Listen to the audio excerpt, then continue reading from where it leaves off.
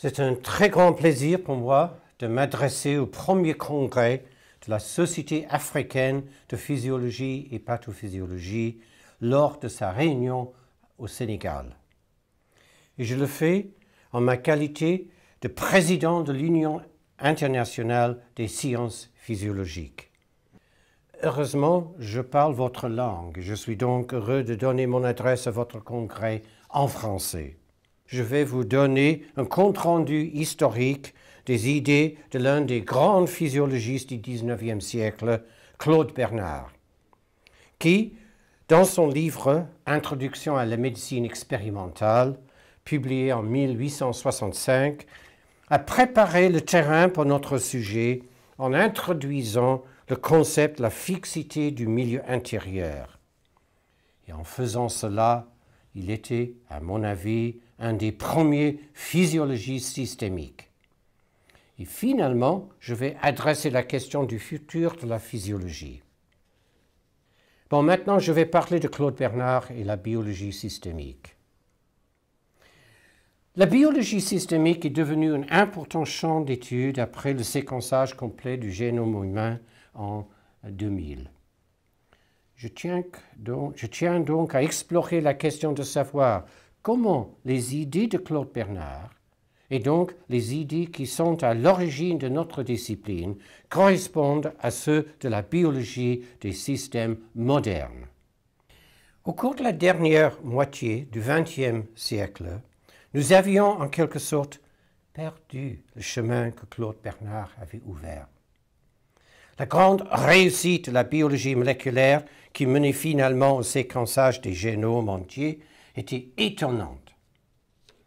Quand même, le point de vue moléculaire avait tendance de cacher et souvent d'ignorer la logique de la vie, parce que cette logique ne se trouve pas à ce niveau. Néanmoins, on voit maintenant au cours des premières années du XXIe siècle que le défi est précisément la compréhension de la logique de la vie et ça commence à revenir à sa propre place au centre de la médecine expérimentale. Et voilà pourquoi ma présentation d'ouverture à Birmingham avait comme titre Physiology moves back onto center stage. En français, Physiologie revient sur la scène. Pourquoi est-ce que je parle de Claude Bernard et la biologie systémique? Dans un article publié il y a cinq ans, j'ai proposé que Claude Bernard doive être reconnu comme le premier biologiste systémicien. Est-ce que j'avais raison? Dans le même article, j'ai formulé dix principes de la biologie systémique. Mais il faut admettre que je n'ai pas fait une comparaison systématique entre ces principes et les idées de Claude Bernard exprimées dans ses grandes œuvres comme Introduction à l'étude de la médecine expérimentale et Leçons sur les phénomènes de la vie. Aujourd'hui, lors de ma conférence ici, c'est précisément cette comparaison que je vais essayer de faire. Et je commence avec un fait historique qui sera très important au cours de ma discussion. Introduction à l'étude de la médecine expérimentale, aura 150 ans en 2015. Et bien sûr, le contexte scientifique a beaucoup changé après 150 ans. À l'époque, en 1865, personne n'avait aucune idée des étranges caractéristiques de la matière à très petite échelle telle que la mécanique quantique. Euh, et la seule indication qu'il est possible que la matière ne se confonde pas aux lois déterministes était fondée sur les observations de Robert Brown en 1827 à propos du phénomène que nous appelons aujourd'hui le mouvement brownien.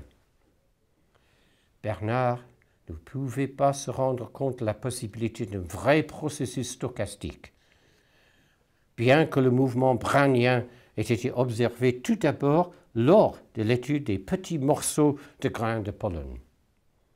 Au contraire, la plus grande influence des études physiques sur la biologie était que, au fond, le monde serait complètement déterministe. Suivant les idées du grand mathématicien français Pierre-Simon de Laplace, auteur de la grande Bible du déterminisme mécanique céleste, qui avait lui-même d'ailleurs contribué à la théorie des probabilités, presque tous les scientifiques pensaient que l'univers est fortement déterministe. Nous verrons plus tard que Bernard aussi a insisté sur la nécessité d'utiliser les sciences mathématiques, même en biologie. En principe, donc, on pourrait tout calculer, tout prédire. Mais il ne pouvait pas imaginer que, beaucoup plus tard, on allait démontrer l'existence des processus essentiellement chaotiques en employant des équations apparemment déterministes. De plus, la théorie de la relativité n'avait pas encore été formulée en 1865. Certes, on avait depuis longtemps déplacé la Terre de son statut de centre de l'univers, idée centrale, comme nous le verrons, au principe qu'il n'existe pas de localisation privilégiée. Mais Bernard vivait avant Poincaré, avant Einstein. Et à mon avis, une vraie biologie systémique se doit prendre en compte le principe central de la relativité, c'est-à-dire l'absence de localisation, vitesse, accélération et échelle privilégiée. Nous en verrons les implications plus loin. Dans ce contexte, bien que je me propose de mettre en évidence quelques correspondances importantes entre les principes de la biologie systémique et les idées de Claude Bernard, je dois souligner aussi qu'il lui aurait été impossible de formuler les principes d'une biologie systémique telle que celle que nous sommes en train de construire aujourd'hui. Bon, maintenant je commence euh, les comparaisons. Le premier principe c'est que les fonctionnalités biologiques se trouvent à tous les niveaux. De toute évidence, au XIXe siècle, on ne pouvait pas formuler le concept de milieu intérieur sans impliquer le principe de causalité circulaire, le feedback, bien que Bernard n'a jamais employé ces termes modernes. En effet, le maintien de la fixité du milieu intérieur dépend de formes de causalité circulaire entre les différents niveaux d'organisation au sein de l'organisme. Bernard comprenait très bien aussi les fonctions que l'on pouvait attribuer aux organes du corps. Il les a mis en avant bien des fois lui-même. Toutefois, Bernard n'était pas holiste. Le terme que l'on emploie aujourd'hui peut désigner quelqu'un qui pense qu'il existe des fonctions qui ne peuvent être attribuées qu'au corps entier. Voyons ce qu'il avait écrit à propos de ce texte Cuvier dans une lettre que Cuvier a, envoyée à M. Mertrude. Cuvier écrivait Toutes les parties d'un corps vivant sont liées. Elles ne peuvent agir qu'autant qu'elles agissent toutes ensemble vouloir en séparer une de la masse, c'est la reporter dans l'ordre des substances mortes. C'est en changer entièrement l'essence. Ce qui est intéressant, c'est que Bernard n'était pas d'accord avec Cuvier. Voyons ce que Bernard écrit. Il écrit si les objections précédentes étaient fondées, ce serait reconnaître ou bien qu'il n'y a pas de déterminisme possible dans les phénomènes de la vie, ce qui serait nier simplement euh, la science biologique, ou bien ce serait admettre que la force vitale doit être étudiée par les procédés particuliers et que la science de la vie doit reposer sur d'autres principes que la science des corps inertes. Je me propose donc d'établir que la science des phénomènes de la vie ne peut avoir d'autre base que la science des corps brus, et qu'il n'y a sous ce rapport aucune différence entre les principes des sciences biologiques et ceux des sciences physico-chimiques. Tout cela se trouve sur la page 100 de son livre. Évidemment, dans cette partie de son livre, il était plutôt réductionniste. Pourquoi? Je crois que Bernard avait besoin de défendre ses expériences sur les animaux. Son problème était que Cuvier employait son argument holiste afin de nier l'importance de l'expérimentation. Et une autre idée que Bernard avait besoin de nier était le vitalisme, l'idée qu'il existe des formes d'énergie qui ne se trouvent que dans les êtres vivants. Ces raisons étaient très importantes pour Bernard au milieu du XIXe siècle, mais elles sont insuffisantes pour nous. Parce qu'en rejetant si complètement l'argument de Cuvier, je crois qu'il allait trop loin. Aujourd'hui, nous pouvons employer l'argument de Cuvier, puisque son argument est correct, dans un contexte scientifique tout à fait différent. Les processus purement physico-chimiques ne sont plus vus comme déterministes, et le développement des sciences de la complexité a mis en évidence l'existence de processus qui ne peuvent pas exister à un niveau purement physico-chimique. Aussi, il est maintenant possible de construire des théories spécifiques aux êtres vivants sans nier l'importance des propriétés essentielles au niveau physico-chimique. Et voilà pourquoi j'ai insisté sur le fait qu'il faille regarder Bernard dans le contexte de son époque. Bien avant la mécanique quantique, la théorie de la relativité et les sciences mathématiques d'étude de la complexité. Pourtant, un peu plus tard dans son livre, Bernard avait reconnu l'importance de la complexité des êtres vivants et la nécessité d'une approche différente pour l'étudier. Parce que 15 pages après ses remarques si fortes contre Cuvier, il exprime un autre point de vue bien plus nuancé.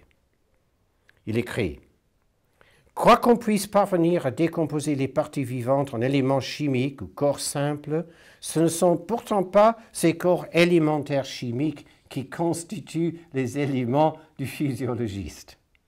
Et il continue. Les principes immédiats organiques, quoique bien définis dans leur propriété, ne sont pas encore les éléments actifs des phénomènes physiologiques comme les matières minérales ils ne sont en quelque sorte que des éléments passifs de l'organisme. Les vrais éléments actifs pour le physiologiste, ce sont ce qu'on appelle les éléments anatomiques ou, histologiques. Est-ce que je suis seul à voir ici une forme de contradiction avec ce qu'il écrivait contre Cuvier? Parce que dans ce texte, il admet précisément qu'il y a quelque chose de particulier au vivant, c'est-à-dire l'organisation. Parce que c'est ce qui engendre les éléments anatomiques et histologiques, et que les éléments chimiques ne sont pas les éléments du physiologiste. Dans cette version de son texte, j'entrevois donc un vrai biologiste systémicien. Cependant, je considère qu'il n'a pas réconcilié ces deux versions de sa théorie. Je vais discuter ce problème très important à la fin de la présentation. Alors, le deuxième principe, c'est ce que j'appelle la causalité descendante. Beaucoup des expériences de Bernard traitaient des effets de la causalité descendante, bien qu'il n'emploie pas ce terme.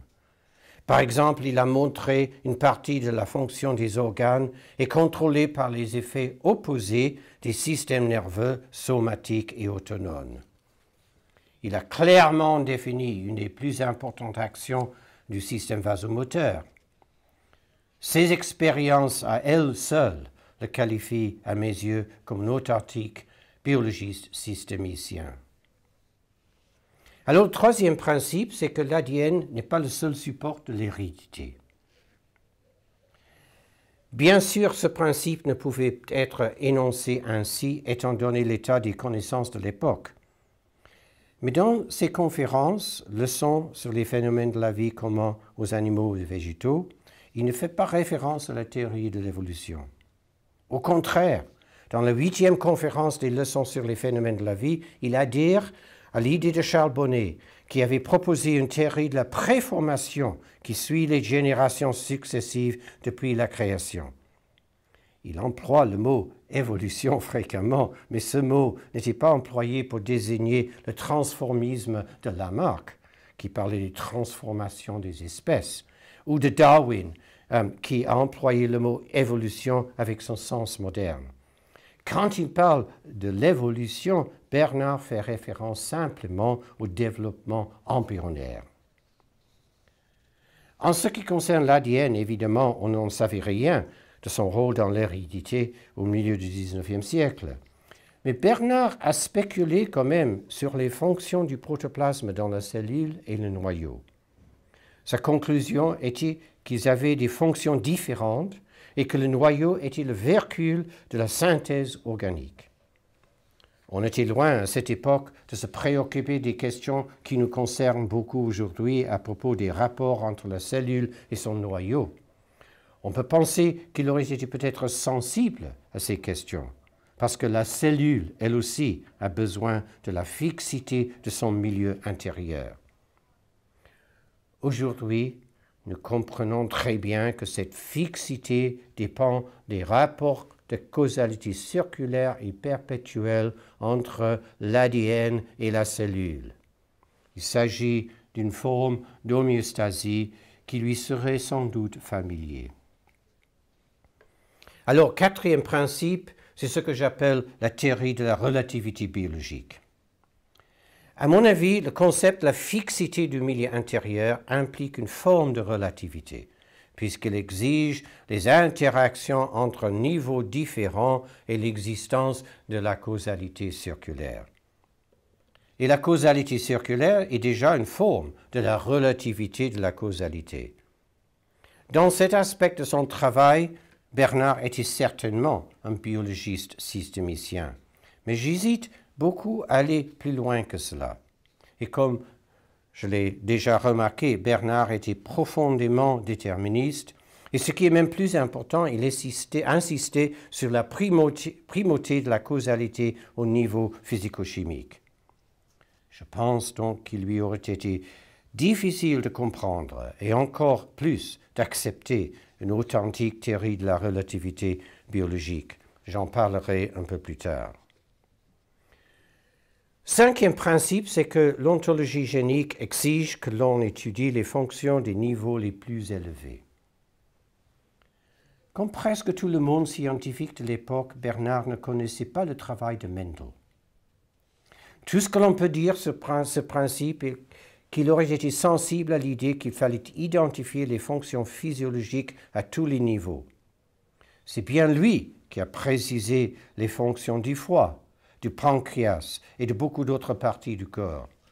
De plus, il a bien compris que la morphologie exige des principes d'organisation du corps au niveau des organes et du corps. Sujet qu'il discute par exemple dans sa huitième conférence sur la synthèse organique et la morphologie.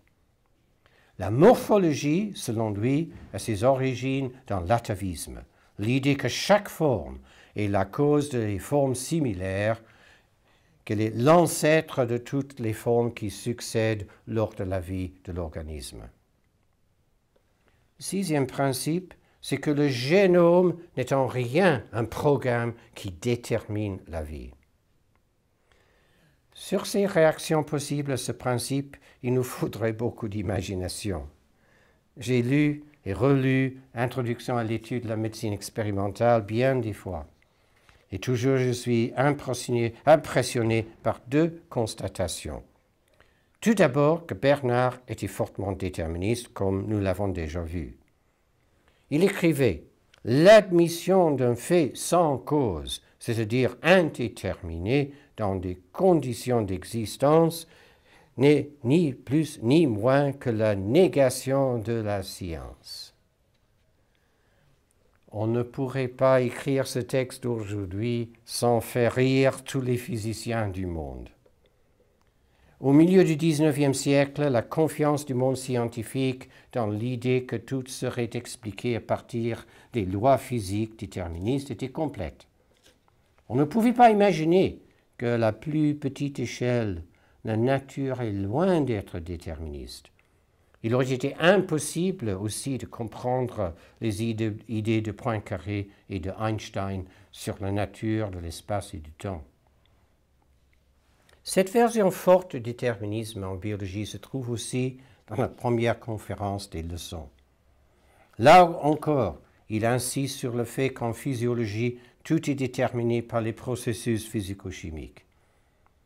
Dans cette conférence, il note aussi une différence entre le déterminisme en physiologie et le déterminisme en philosophie. Mais cette différence est introduite afin de s'éloigner du concept en philosophie et surtout ses implications sociales. Et il me semble que ça veut dire qu'il était sensible au problème du déterminisme, mais qu'il n'a pas pu trouver une bonne solution pour le dépasser. Je vais revenir à cette question. Étant donné son insistance constante sur la primauté des processus physico-chimiques, j'imagine qu'il aurait été ravi de l'idée de programme génétique de Jacob et Monod.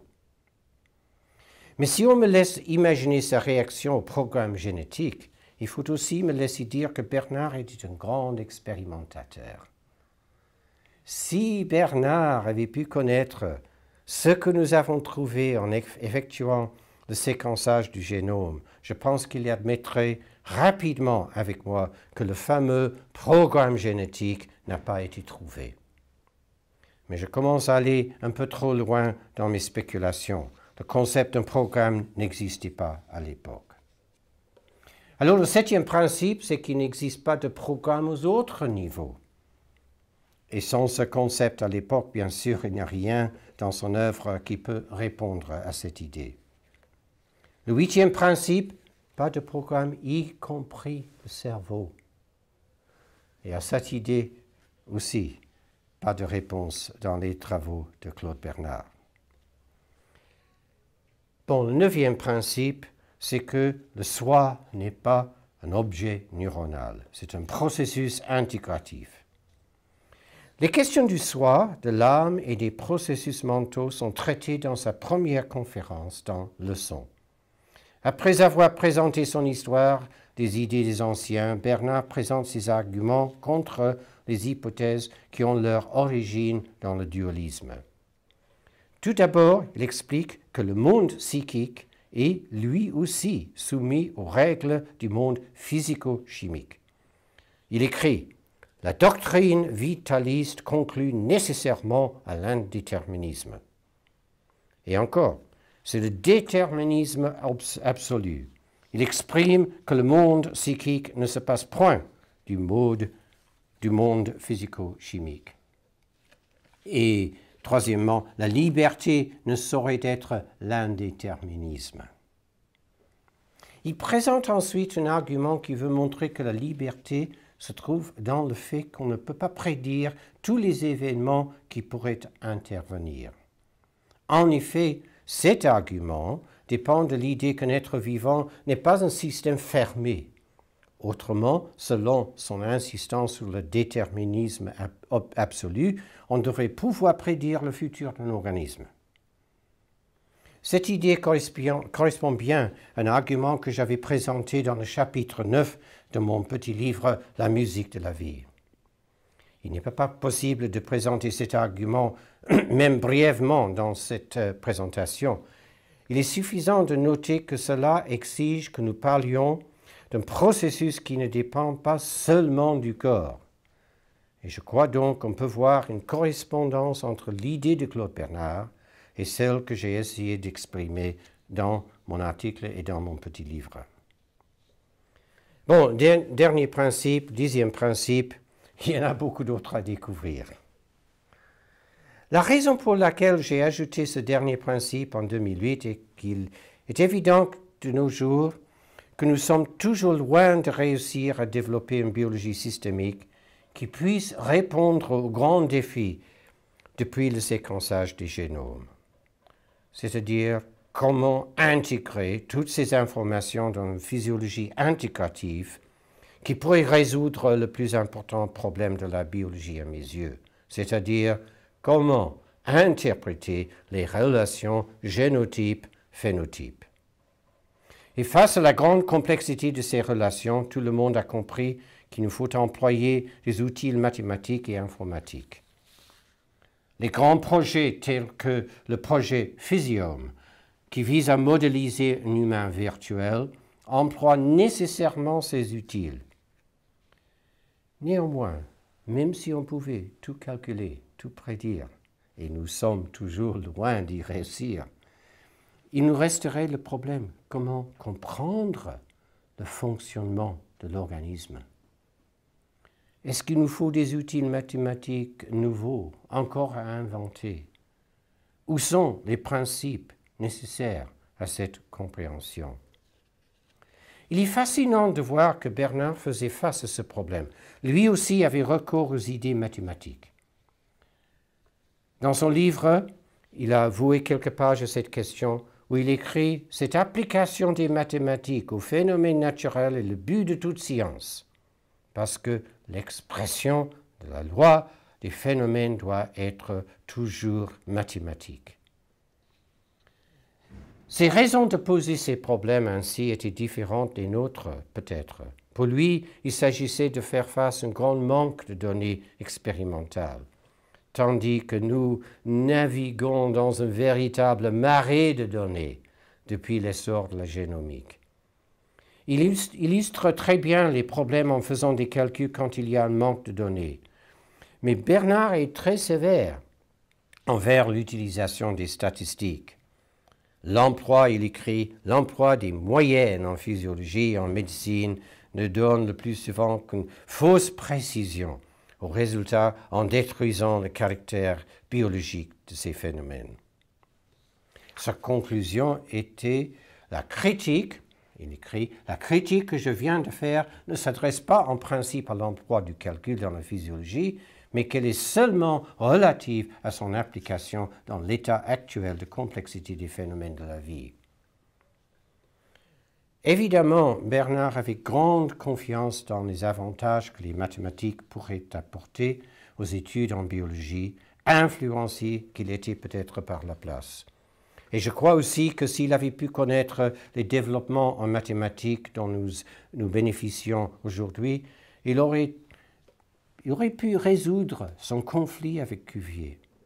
Parce qu'il aurait pu être d'accord avec Cuvier en disant ce ne sont pourtant pas ces corps élémentaires chimiques qui constituent les éléments du physiologiste.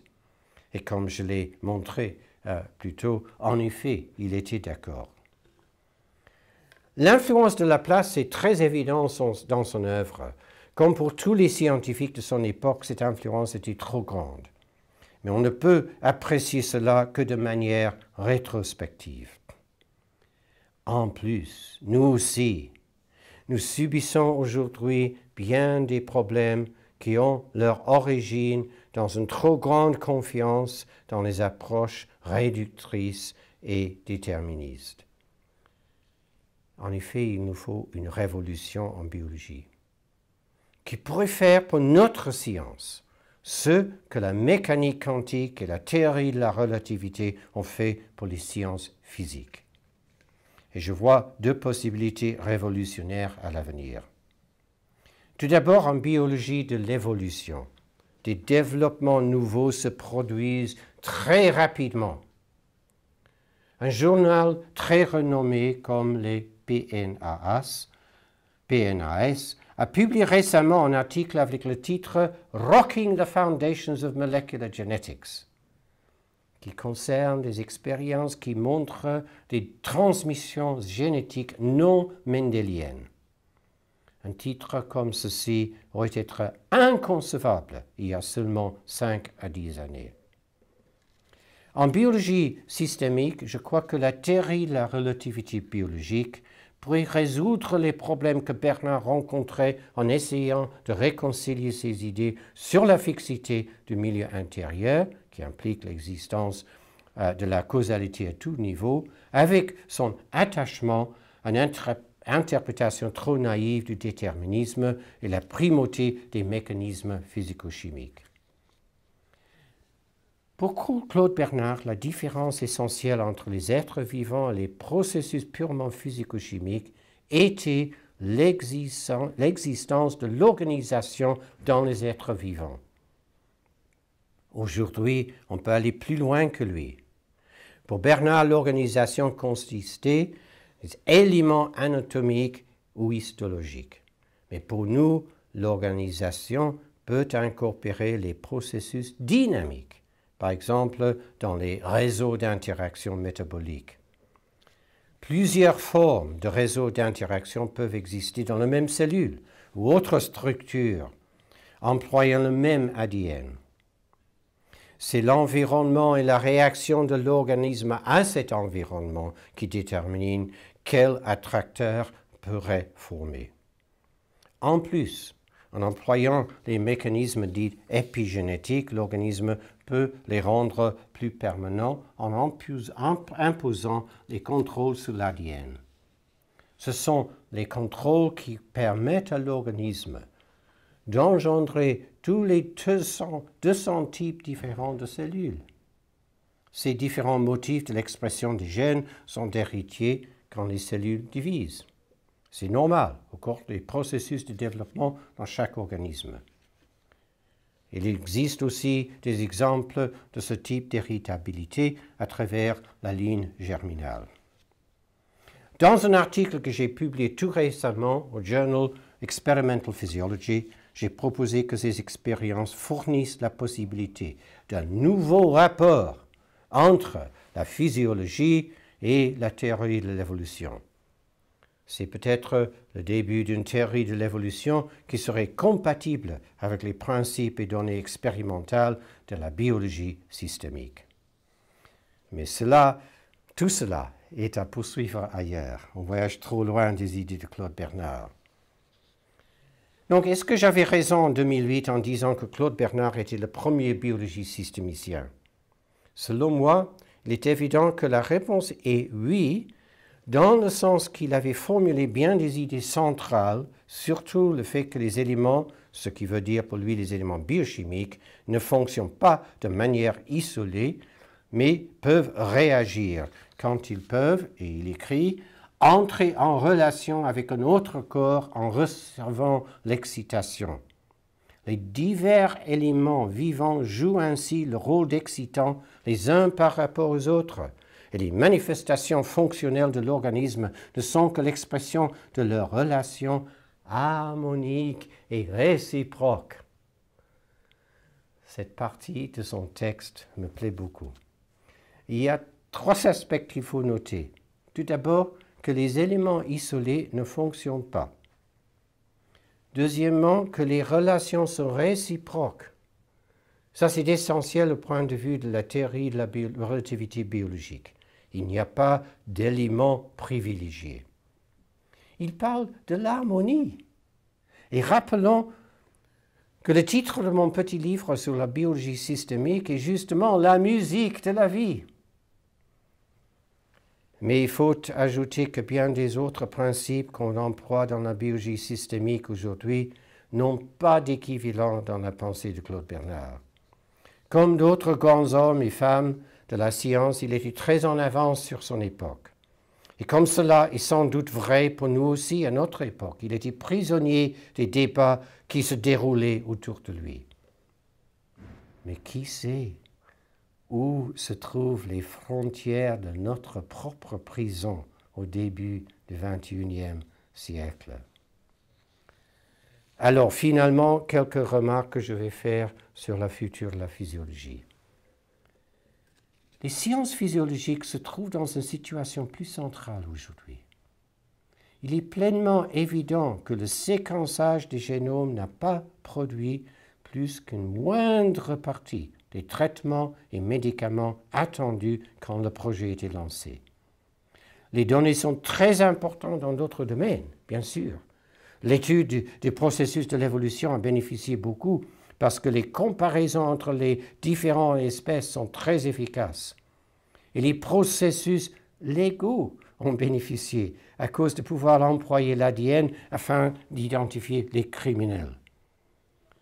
Malheureusement, la recherche de nouveaux médicaments de type Magic Bullet n'a pas réussi. La raison de tout cela et que les sciences physiologiques sont fondamentalement nécessaires à l'interprétation des, fonctions des organismes. Sans comprendre cela, on ne peut pas comprendre les maladies et trouver les nouvelles formes de traitement. C'est ça, le futur de la physiologie. C'est un défi énorme. Et l'Afrique pourrait donner beaucoup de choses à l'avenir. Tout d'abord parce que vous avez beaucoup de jeunes chercheurs et étudiants. Ils ont l'opportunité de participer dans un projet de très grand intérêt et d'importance. Comment interpréter le véritable marée de données que nous avons aujourd'hui au niveau moléculaire en termes de fonctions physiologiques? À vous, donc, l'avenir. Merci beaucoup. Música